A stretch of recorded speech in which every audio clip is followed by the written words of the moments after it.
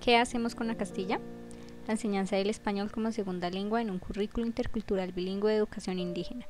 Este trabajo fue realizado por Yulexi Guarín Salas y Erika Ortega Carrillo.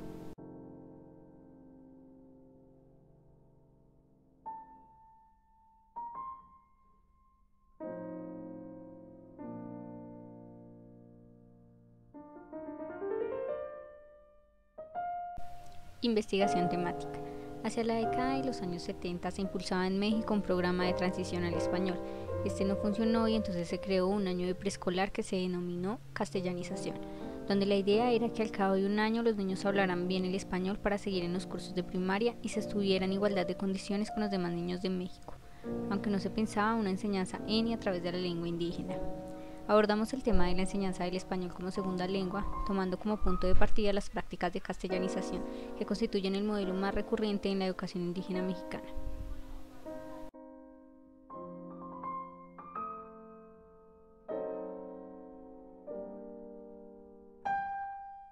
Contenido. Primero, la castellanización como programa de sumersión y transición al español.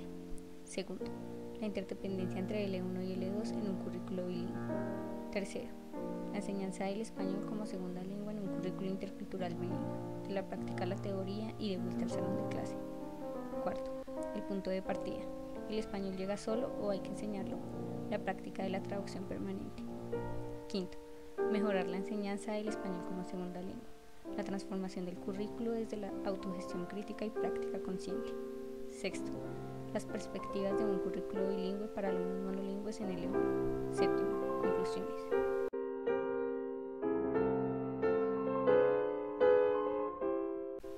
Se analizará, en primer lugar, problemas y defectos estructurales del modelo de castellanización a partir de varios estudios realizados durante los últimos 35 años. Y en segundo lugar, una revisión de los debates teóricos actuales y un currículo de preservación lingüística y afirmación cultural.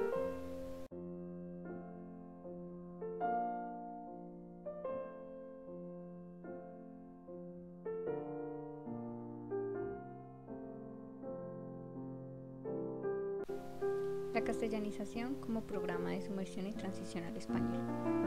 En principio se consideró la castellanización como un valor positivo, pues le abriría acceso al español y a la cultura nacional a los niños indígenas de México. Esta castellanización cayó en descrédito por dos razones fundamentales. Primero, se identificó cada vez más con un proyecto escolar que más allá de enseñar español apuntaba al desplazamiento y a la exclusión de las lenguas indígenas. Y segundo, no cumplió con su objetivo declarado, que era enseñar eficientemente el español en un tiempo breve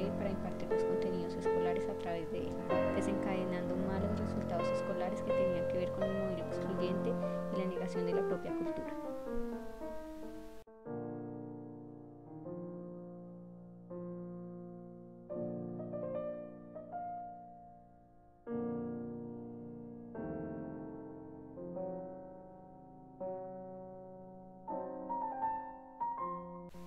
Ante la angustiosa evidencia científica que se cuenta hoy, es imposible negar que la adquisición plena de una segunda lengua, particularmente en condiciones de simetría lingüística y marginación socioeconómica de los alumnos, constituye un proceso que ni siquiera concluye al terminar los seis años de educación primaria. La primera lengua juega un papel primordial para la adquisición de una segunda lengua y de las principales competencias académicas. La adquisición de una segunda lengua no se desarrolla de la misma manera que la de la lengua materna. Una vez pasada la edad crítica que permite la adquisición de varias lenguas como materna, la adquisición de una segunda lengua no avanza de manera natural y espontánea como lo hace la lengua materna.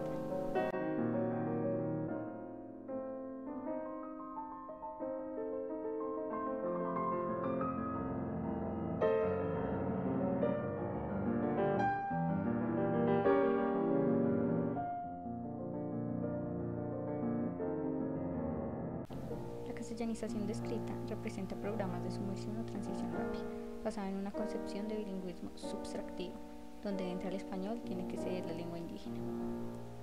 Fracasaron los programas que intentaron enseñar las habilidades y conocimientos cognitivamente exigentes en y a través de una segunda lengua dominante que desconocen los alumnos provenientes de grupos etnolingüísticos subordinados en México, en el resto de América Latina y en Estados Unidos.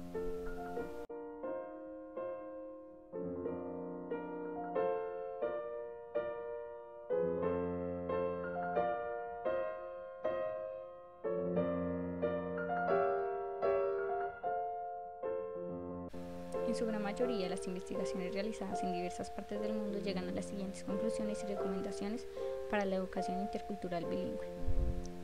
Principios psicolingüísticos de la educación intercultural bilingüe. Mientras mejor se enseñan las materias y competencias difíciles cognitivamente exigentes en su propia lengua a niños de poblaciones etnolingüísticas subordinadas, mejor se aprenden los contenidos escolares fundamentales en su conjunto.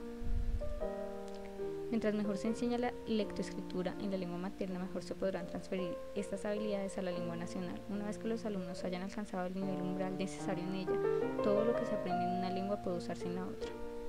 Mientras mejor se incorporen las tradiciones cognitivas de la cosmovisión y pedagogía indígenas al currículo escolar, más probabilidades tienen los alumnos de llegar a un aprovechamiento escolar a largo plazo.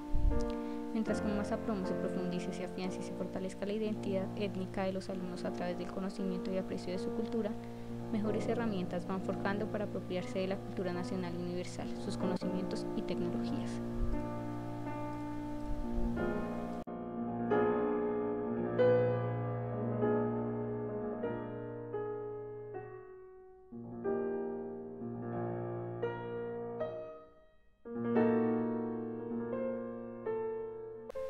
La interdependencia entre L1 y L2 en un currículo bilingüe. Para entender la interdependencia compleja entre las lenguas y los procesos de aprendizaje bilingüe tenemos que apropiarnos de algunos principios teóricos de la psicolingüística moderna y el bilingüismo. Por un lado se encuentran las prácticas interactivas altamente apoyadas por su contexto inmediato como las conversaciones cotidianas. Por el otro, las actividades lingüístico-académicas que usan un lenguaje con menor apoyo contextual y plantean exigencias cognitivas mayores que las primeras.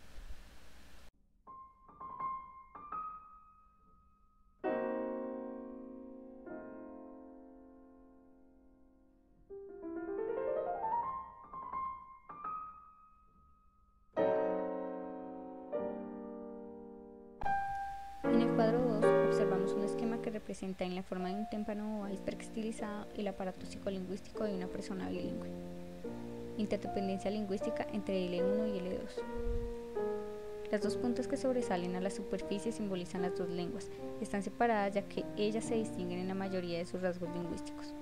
Debajo del agua, sin embargo, escondido en nuestra vista, se ubica la parte más importante del iceberg, la proficiencia subyacente común, PSC, que comparten ambas lenguas en su mayor parte.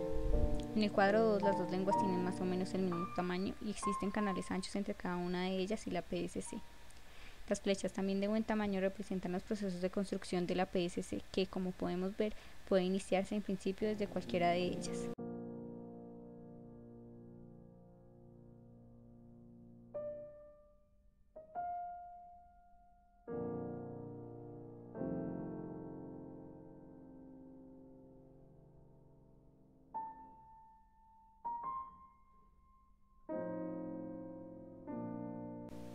El cuadro 3 nos representa el caso de una persona casi monolingüe en su lengua materna, digamos un niño indígena que ingresa a los 6 años a la escuela. Su segunda lengua, el español, es casi inexistente en ese momento. Castellanización fallida. Ahora entendemos por qué la castellanización fracasa casi inevitablemente. El programa intenta alfabetizar, es decir, construir una proficiencia cognitiva académica a partir de una lengua que no está desarrollada. El canal entre la L2 y el espacio subyacente está cerrado y la flecha no puede pasar conocimientos hacia la PSC. En cambio, entre la L1 y la PSC existe un canal bastante ancho que no se aprovecha, ya que no hay ninguna flecha que represente una construcción de conocimientos.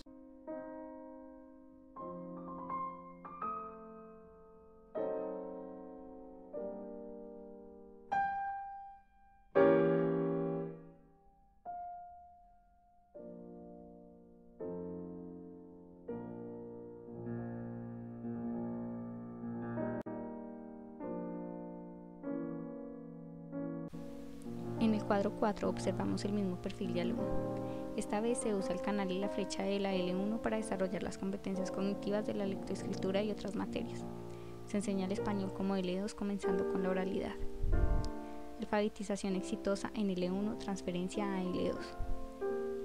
De tal suerte, la alfabetización y el impulso de contenidos curriculares en la lengua materna paralelos a la introducción de la L2 como tal podrán producir un efecto positivo acumulado a mediano plazo para el desarrollo de la lectoescritura en L2, ya que en este caso el alumno podrá activar una serie de estrategias de transferencia de L1 a L2.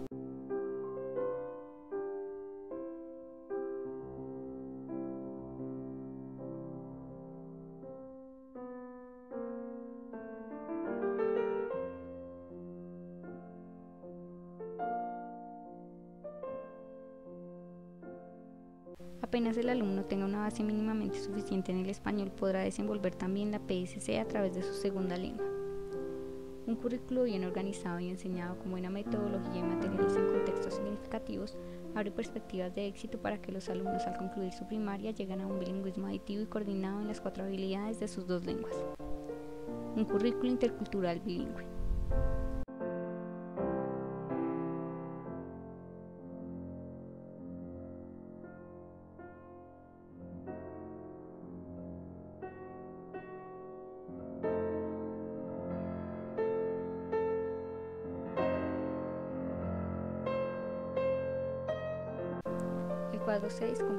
Principales características de un programa de castellanización, es decir, de sumersión o transición rápida, con la de un programa de enseñanza del español como de L2 en el contexto de un currículo intercultural bilingüe. Castellanización y enseñanza de una segunda lengua. Castellanización. Programas de sumersión o transición rápida. Objetivo Bilingüismo subtractivo, transición a la lengua y cultura nacional. Enseñanza del español sin tomar en cuenta la lengua materna que se considera un obstáculo. Desarrollo de la proficiencia cognitiva y académica exclusivamente en L2. Resultados probables. Bajo rendimiento en lectoescritura y otras habilidades académicas en L2. Desarrollo de un bilingüismo subtractivo. Desplazamiento y sustitución de la lengua indígena materna. Asimilación a la cultura nacional empobrecimiento y pérdida de la cultura indígena propia. Enseñanza L2, Instituto de Educación Bilingüe. Programas de preservación lingüística y desarrollo intercultural. Objetivo. Bilingüismo aditivo y coordinado en una perspectiva intercultural y enriquecedora. Enseñanza del español partiendo de la enseñanza de la lectoescritura en L1 y del pleno desarrollo de los conocimientos escolares en ella transferencia de competencias cognitivas y académicas de L1 a L2. Resultados probables. Rendimiento bueno en lectoescritura y otras habilidades académicas en L1 y L2. Desarrollo de un bilingüismo aditivo. Preservación y crecimiento de la lengua indígena materna y aprendizaje pleno de la L2 preservación y fortalecimiento de la cultura indígena propia y conocimiento de la cultura nacional a partir de la primera.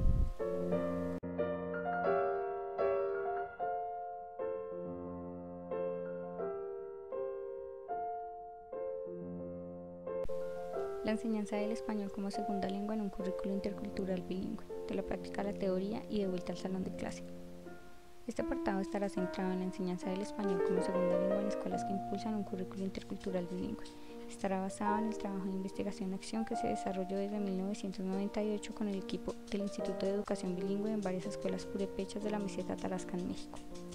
En un primer estudio realizado entre 1998 y 2001, se pudo conocer muy de cerca el currículo de facto que se desarrolla día a día en las aulas, los aciertos y dificultades en la labor de los maestros y las soluciones e interrogantes que se presentan.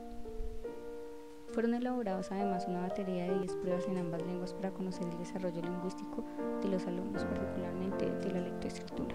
En las escuelas de Michoacán se aplicaron más de 1.500 de un total de 3.500.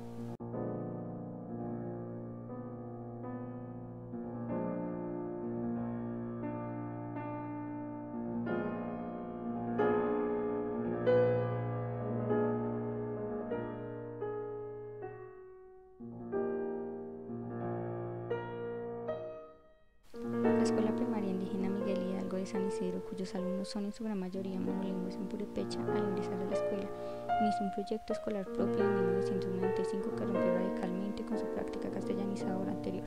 Pocos años después se sumó la Escuela Benito Juárez de la comunidad vecina de Uninguitiro. La lengua purépecha constituye el núcleo del currículo, ya que todas las materias se enseñan en la L1 de los alumnos y el español se introduce como L2. Para enseñar en esta modalidad, los maestros y maestras tuvieron que enfrentar grandes retos, diseñar sus planes y programas a partir del currículo oficial, elaborar una gran cantidad de materiales didácticos para cada una de las materias y desarrollar técnicas de enseñanza propias.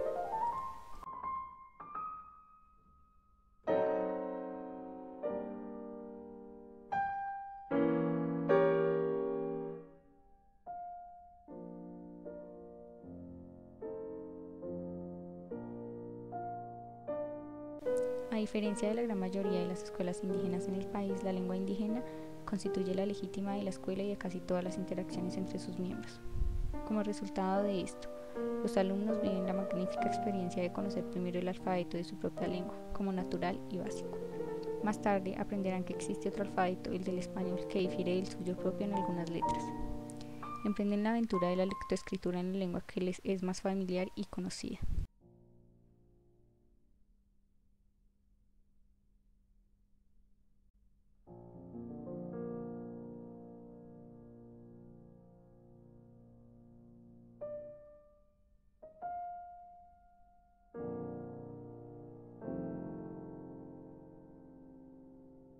En su fase actual de trabajo, el equipo del Instituto de Educación Bilingüe interviene a petición de las dos escuelas para atender tres áreas problemáticas en el programa escolar, las metodologías de la enseñanza en general, el desarrollo de la lectoescritura en L1 y la enseñanza del español como L2.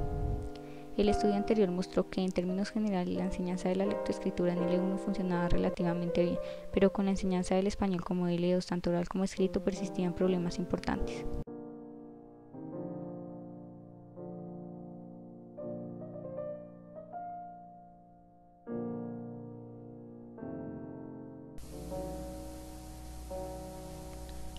Punto de partida. El español llega solo, hay que enseñarlo, la práctica de la traducción permanente. Hasta el año 2001 los maestros no habían identificado la enseñanza del español como L2. Casi todos los profesores indígenas de México carecen de una formación específica que les permitía identificar la necesidad de adquisición de la L2 para desarrollar las actividades correspondientes, impidiendo con ello una enseñanza sistemática del español. El español lo usaban de vez en cuando principalmente para leer los textos en los libros oficiales y a la hora de traducir conceptos e instrucciones de una lengua a otra. La enseñanza del español como L2 requiere de una metodología propia que debe ser diferenciada de los demás objetivos escolares.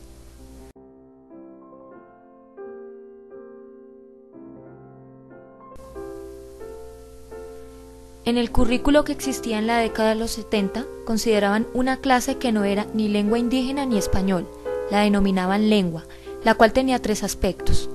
Primero era estructura, el segundo era gramática y el tercero era vocabulario. Con estos aspectos desarrollaban una suerte de gramática contrastiva, fomentando la reflexión sobre la lengua y una conciencia metalingüística de las diferencias y similitudes de ambas lenguas. Sin embargo, esta clase en sí no servía para enseñar el español en el aula.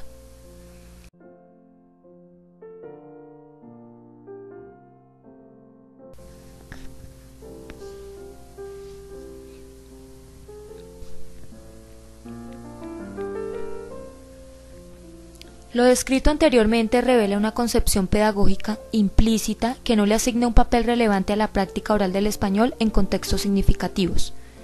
Los alumnos de primero a sexto grado casi nunca tenían la oportunidad de producir enunciados, exposiciones, descripciones y argumentaciones con un mínimo de complejidad en español. Casi siempre producían enunciados simples como el siguiente. Maestra, ¿qué hacen los papás? Alumnos, en coro, trabajan, maestra, y los niños, alumnos, juegan, en las prácticas del español se acentuaba el ejercicio formal de la lectura sin comprensión. Una clase típica introducía un tema en lengua indígena usando material de diversas fuentes. Luego el maestro empleaba el libro en español con sus alumnos para leer un texto con una temática similar.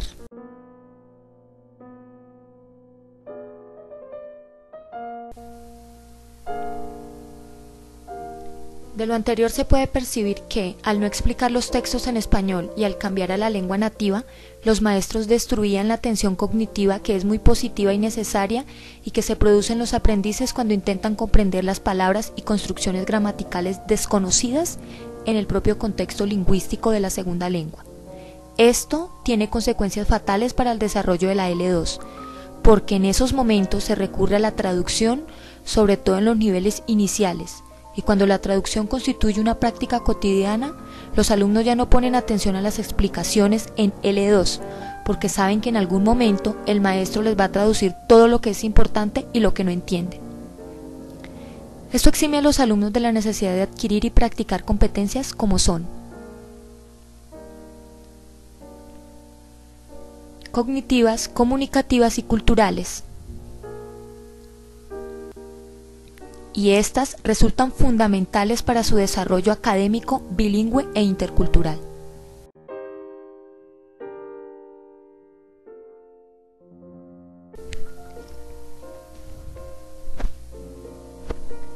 En un contexto sociolingüístico en lengua indígena, en las comunidades donde prácticamente no existen estímulos ni oportunidades extraescolares para aprender el español, la escuela tiene que hacerse cargo de la enseñanza del español. Aún en comunidades donde el español está presente y se produce una adquisición extraescolar, la escuela tiene que poner en marcha un programa muy específico para la sistematización y el desarrollo de las competencias académicas, orales y escritas de la lengua nacional, el español. Por esta razón es importante abordar la problemática de la del español como L2 en el contexto de un currículo intercultural bilingüe de manera integral y discutir posibles soluciones.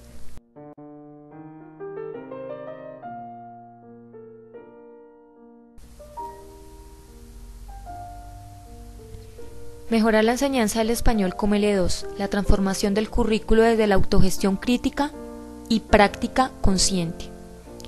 Hacia el año 2004 se iniciaron cambios muy significativos en el currículo. Junto con los equipos docentes se desarrolló un programa integral de la enseñanza del español, del español como segunda lengua, que partía de los problemas descritos y también de los resultados más actuales de la investigación científica sobre la enseñanza de segundas lenguas. En la investigación se puso en marcha un concepto de aula-taller que se distinguía significativamente de la capacitación tradicional, produciendo una dinámica de práctica, análisis, teoría, práctica, que avanzaba en una suerte de espiral de conocimiento.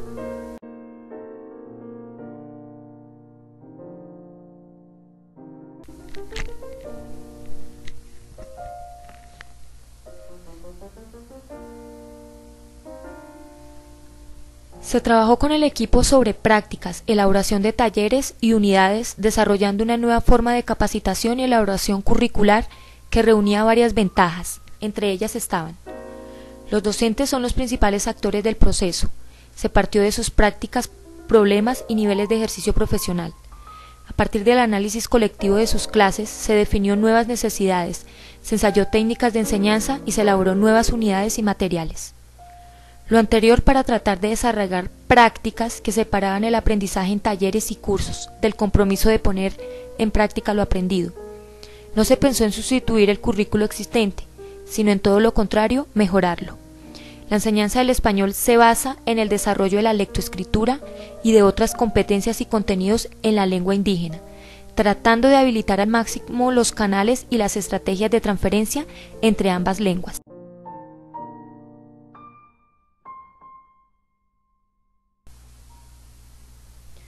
Durante todo este proceso, para hacer los cambios, se tuvieron en cuenta tres principios fundamentales. El primero, en la clase de español, todo lo decimos y lo hacemos en español. En segundo, el discurso del maestro en español tiene que adaptarse al nivel de conocimientos de los alumnos. El tercero, una segunda lengua debe enseñarse de contenidos relevantes y atractivos para los alumnos, enfoques de enseñanza y contenidos.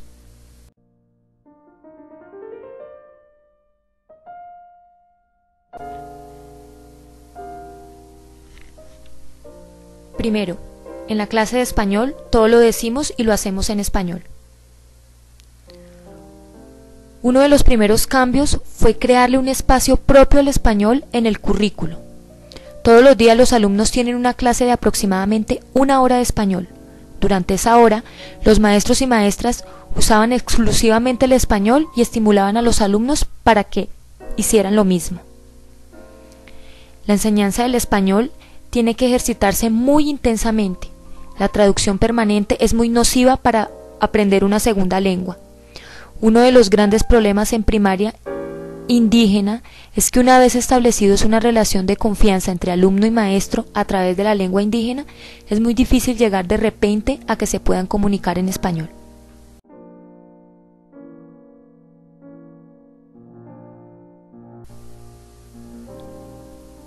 Segundo, el discurso del maestro en español tiene que adaptarse al nivel de conocimiento de sus alumnos. Lo importante aquí es que el docente sepa bien el nivel de conocimiento de sus alumnos, para adaptar su discurso y prever las explicaciones necesarias de términos y conceptos en segunda lengua. Por lo general, cuando los alumnos no los entienden, los maestros hablan más fuerte y más rápido, repiten, buscan explicaciones y sinónimos de manera improvisada.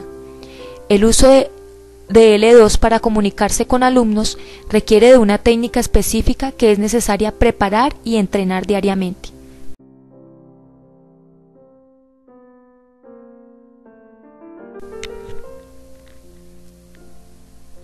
Tercero, una segunda lengua debe enseñarse de contenidos relevantes y atractivos para los estudiantes, enfoques de enseñanza contenidos. Tradicionalmente se ha concebido la lengua como una asignatura aparte, desligada de otras materias, español, lengua indígena, lengua extranjera, una práctica desarrollada en muchas partes del mundo. Sin embargo, se ha demostrado que el aislamiento de la enseñanza de las lenguas produce efectos negativos y lleva muchas veces a una enseñanza estéril y centrada en la gramática. Una lengua se aprende mejor cuando se estudia a través de contenidos significativos y atractivos. Este enfoque abre un modelo interesante hacia las cosmovisiones indígenas y un futuro currículo intercultural en las cosmovisiones indígenas, por lo general, las formas y los contenidos en casi todas las situaciones comunicativas y actividades, incluso sus rituales, forman un todo indisociable.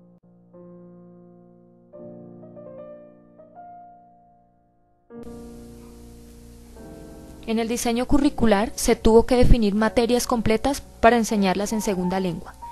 El desarrollo de la lengua en el contexto de la enseñanza de contenidos requiere su tiempo. Fue necesario reducir drásticamente los contenidos de estas materias y jerarquizar contenidos y competencias en los planes y programas. Aquí una propuesta que se tuvo en cuenta en la distribución de la investigación. Se tuvieron en cuenta dos aspectos fundamentales. De primero a sexto, se tuvo en cuenta lectoescritura y oralidad en casi todas las materias. Y el segundo es que tenía una hora de español por día.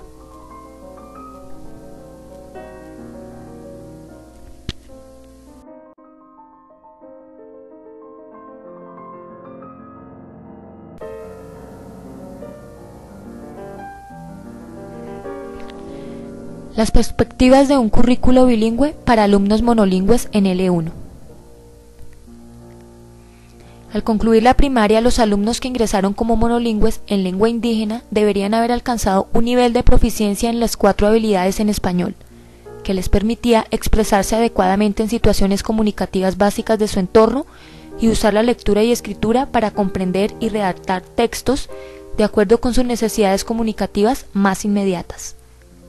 Cuando existe un programa de educación bilingüe bien planeado y operado, el avance de las competencias en ambas lenguas activará cada vez más la construcción de una proficiencia académico-cognitiva común desde cada una de las lenguas y la transferencia de conocimientos y competencias entre ellas.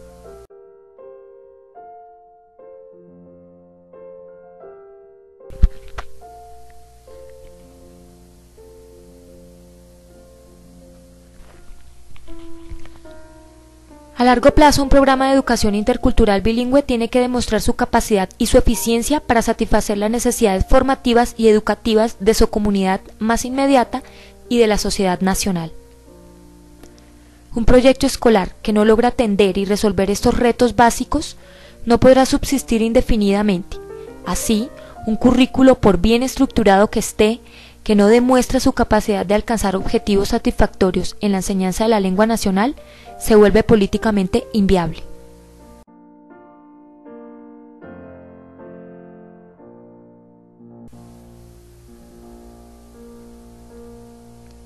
Una de las principales conclusiones que podemos resaltar de esta investigación fueron las siguientes. Una práctica educativa exitosa constituye el mejor instrumento el efecto de demostración más contundente para convencer a los padres de familia, a las comunidades, la sociedad nacional, a las autoridades, a los maestros mismos que la mejor forma de obtener una educación de calidad se construye a través de un currículo intercultural bilingüe, bien diseñado, que desarrolle ambas lenguas de manera coordinada para así desplegar al máximo el gran potencial intelectual, cognitivo, lingüístico y cultural de los alumnos indígenas. Así podemos lograr el objetivo anhelado de formar ciudadanos indígenas orgullosos y conocedores de su propia cultura, historia y lengua, que se apropien a la vez con éxito de todos los conocimientos, beneficios y horizontes que ofrece el español, la cultura nacional y las demás lenguas y culturas del mundo, teniendo en cuenta las cosmovisiones indígenas.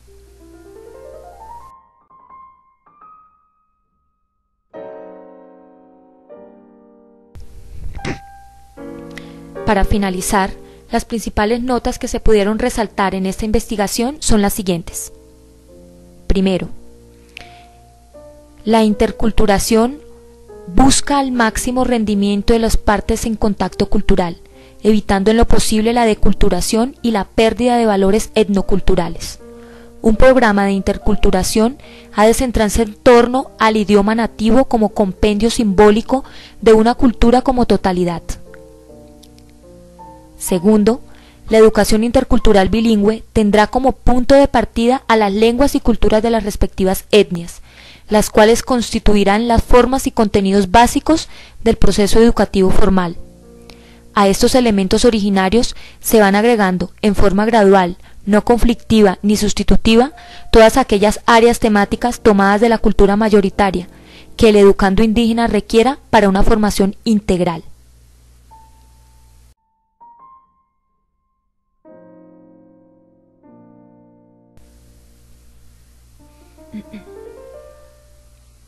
Este trabajo se basó teniendo en, cuenta un artículo de la Revista Mexicana de Investigación Educativa, desarrollado en los meses de enero a marzo del 2004. Se denominó ¿Qué hacemos con la Castilla? La enseñanza del español como segunda lengua en un currículo intercultural bilingüe de educación indígena. Los autores pertenecían al proyecto Comunidad Indígena Educación Intercultural Bilingüe, de las Universidades Autónoma Metropolitana de México y Universidad Pedagógica Nacional de México.